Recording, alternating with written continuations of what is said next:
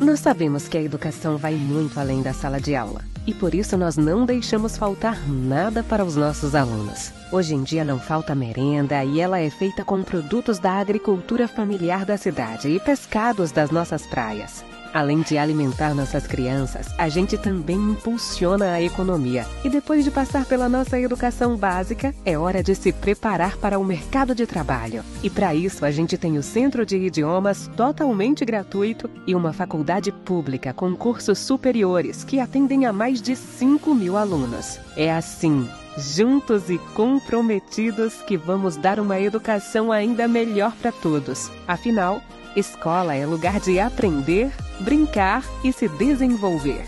A cidade não para de crescer e a prefeitura não para de trabalhar.